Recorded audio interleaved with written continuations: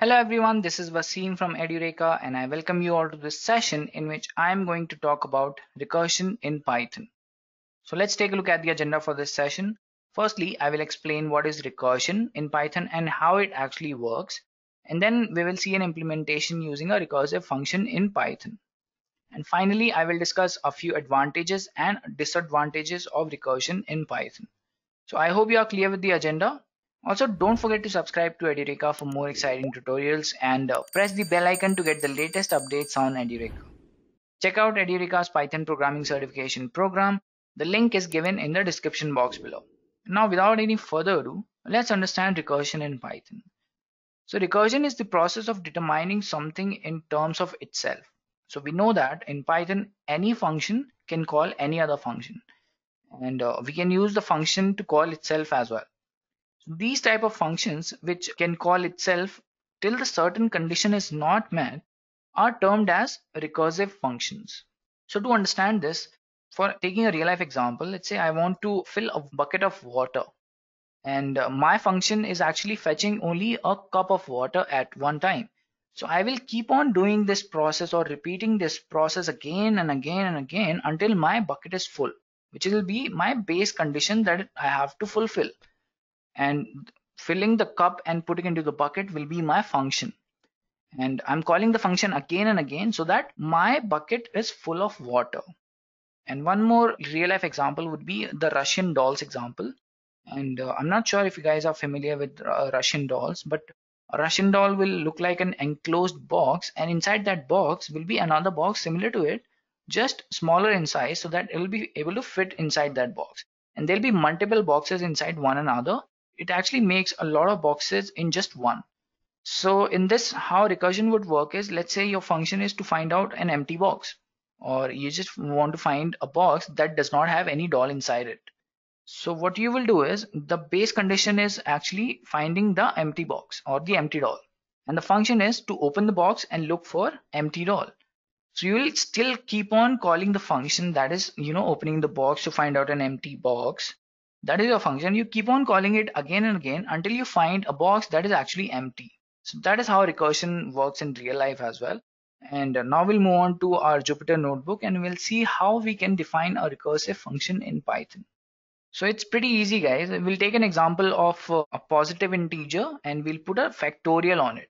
So how factorial actually works is if you have n uh, positive integer, let's say the value is 5. So to calculate the factorial, it will be 5 multiplied by 4 factorial.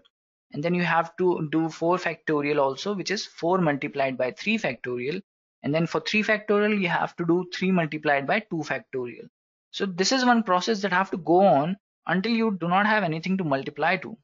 So that is how factorial works and is a very basic and a brilliant example to understand recursion in Python guys. So what we'll do is we'll make a function for this and define it as let's say any normal function and we'll call the function again and again to find out the factorial guys. So we are in Jupyter notebook guys and I have uh, okay I'll just make it as recursion in Python.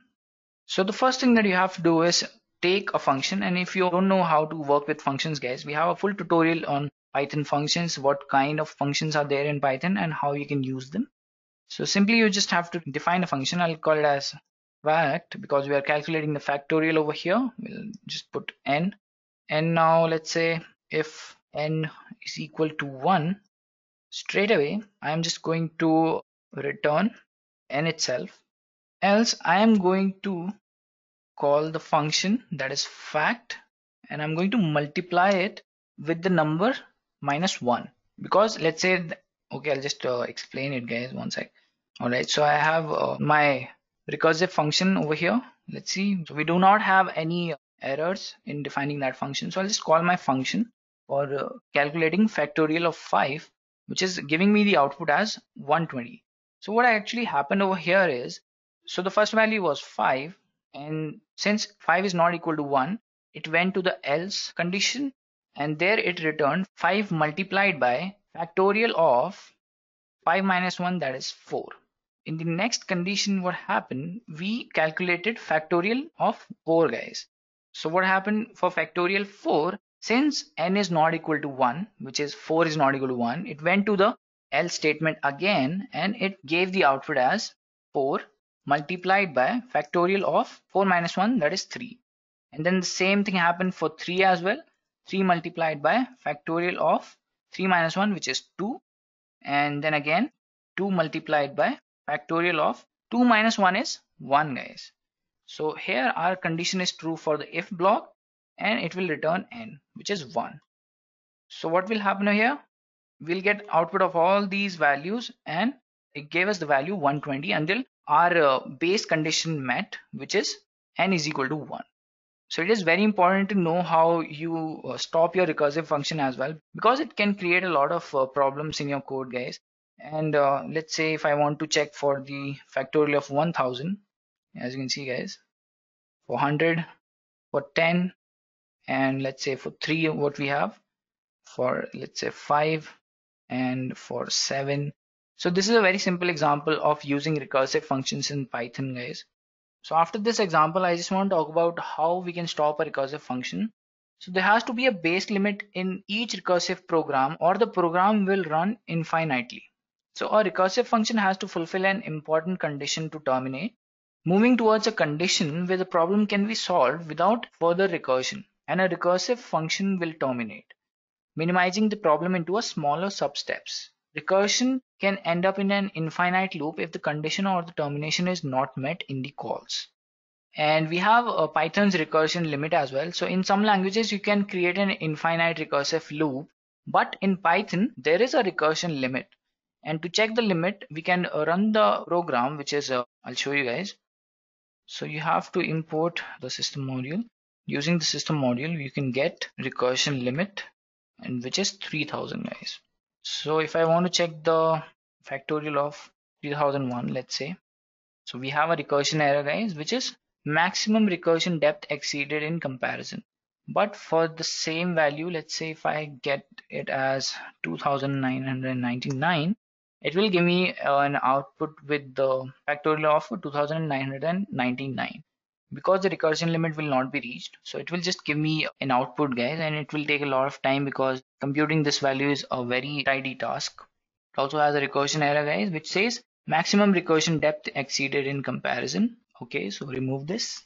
So we'll just we'll just stick to five here. All right. And uh, now let me just talk about a few advantages and disadvantages of recursion in python guys so why exactly is recursion bad for us? So there are a few points that we have to uh, consider in this uh, example. If we follow the logic behind the recursive function, it might be hard sometimes. So that is one disadvantage as we have looked in the factorial one also. And recursive calls are quite expensive and inefficient as they take up a lot of memory and time as well. And using recursive functions are pretty hard to debug as well. And not only the bad things, we have good things for recursion as well. So let's take a look at the advantages of recursion. So the code is clean and elegant in a recursive function and the composite task can be broken down into simpler sub-programs using recursion. That is one biggest advantage. Like I've also shown you how calculating a factorial of a number can be broken down into simpler sub-programs using recursion and then you can generate sequence in an easier way with recursion than using some nested iteration. So that is one more advantage that we have with the python recursion. And now that we have come to the end of the session don't forget to subscribe to Edureka for more exciting tutorials. And also press the bell icon to get the latest updates on Edureka. And check out Edureka's Python programming certification program. The link is given in the description box below. And if you have any questions mention them in the comment section below. We will get back to you as soon as possible. Thank you. I hope you have enjoyed listening to this video. Please be kind enough to like it and you can comment any of your doubts and queries and we will reply them at the earliest. Do look out for more videos in our playlist and subscribe to Edureka channel to learn more. Happy learning!